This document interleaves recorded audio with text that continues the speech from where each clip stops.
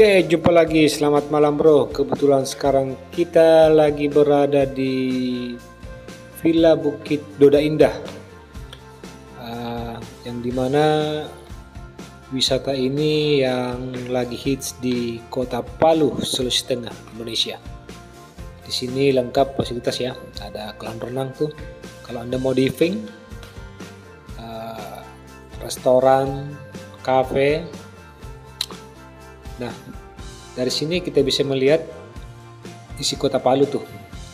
Atau di bawah itu lampu-lampu kota ya yang lagi nyala.